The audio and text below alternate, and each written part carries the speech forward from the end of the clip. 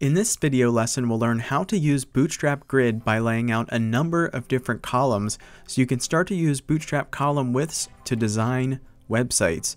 So let's take a look at it from the bottom. We'll go from a single column spanning the whole page to two columns, three columns, four columns, six columns, and then at the top we have 12 columns. So as you can see, the 12 columns are going to drop to six columns when we get to a certain breakpoint.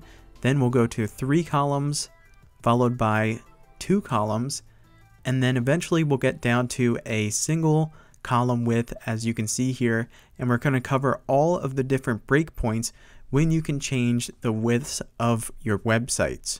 So in the description of the video will be the completed version of this tutorial as you can see here with the HTML document. We'll be going over the document in the free text editor called Sublime Text that you can see in the background, and then I'm also going to have it open in Google Chrome while we're going over the Bootstrap grid layout. Okay, so let's start from the top of the document. We have our doc type HTML, our HTML language English. Then inside of the head section, we have our character set UTF-8, which is standard. And then we have content width device width initial scale 1 for mobile devices, followed by the title of the website, how to use Bootstrap Grid. And then beneath that, we have the latest version of bootstrap.css, uh, then the latest version of jQuery, followed by the latest version of Popper.js, which is recommended for Bootstrap, and then Bootstrap for uh, JS.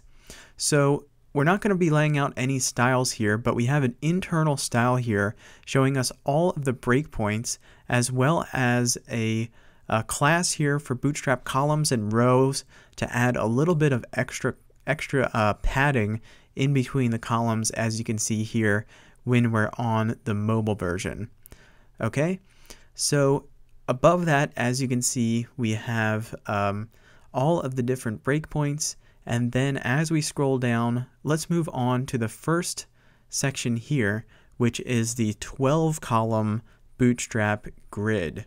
So once we flex up past 1200 pixels, we'll see that all of the 12 columns are going to uh, display for us. So the smallest version is XS or extra small in Bootstrap, which is anything less than 576 pixels, all the way up to XL, which is extra large in Bootstrap, which means you're over 1200 pixels in width. Okay, so down here we have XL1 taking up 1 12th of the 12 column Bootstrap layout. So Bootstrap breaks down into 12 columns and basically you just want to divide into 12 to get your different column widths. So then we have the large screen here at 992 pixels and it says col LG2. So each column is going to take up 2 out of the 12 column grid layout, making up 6 different columns. Then the next column that we get to is col MD4.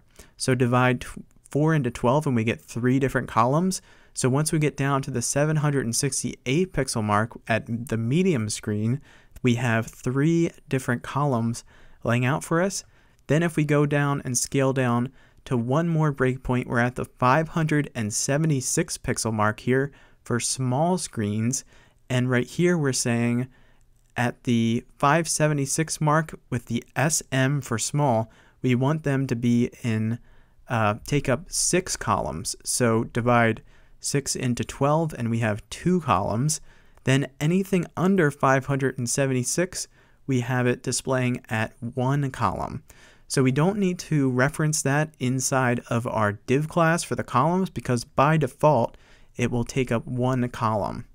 So now let's move down to the second uh, Bootstrap grid down here, which is Bootstrap six column grid system. So we'll start at the small screen here. So once we get up to 576 pixels, it's going to change to two columns with each taking up six out of the grid system. Then let's scroll up to 768 pixels where it says MD4 and similar to the 12 column layout, we have it displaying at three column widths. Okay, and then once we flex up to um, 992 pixels with col LG2, we have six different columns displaying because we've divided uh, 2 into 12. Okay, so if we were to flex this up one more, as you can see, it's going to stay at six columns because we haven't designated a width for the extra large screens at 1200 pixels. So now for the Bootstrap 4 column grid system, at the medium mark here, or anything above 768 pixels, we have uh, four columns displaying. Then underneath 768 pixels, but above 576 pixels, we have two columns displaying, as you can see here for col SM6 for the 576 mark. And then anything under 576 by default, we have it at a single column. So now let's move down to the Bootstrap 3 column grid system that you can see here. And basically the only one that we have here is col MD4. So it's not going to change until we get up to 768 pixels, and then it's going to display as a 3 column width since 4 goes into 12 three times. Okay, and then we have the Bootstrap 2 column grid system. So at 768 pixels, it's going to change from one column to two columns at col MD6, as you can see here. And then at the very bottom, we have the uh, single column width, which is simply col dash 12. So the interesting thing about col-12 is it's going to be the same thing as having col XS12 for extra small. And if we go back and we refresh, we're not going to see any change here. And then it's also going to be the same thing as col XL12.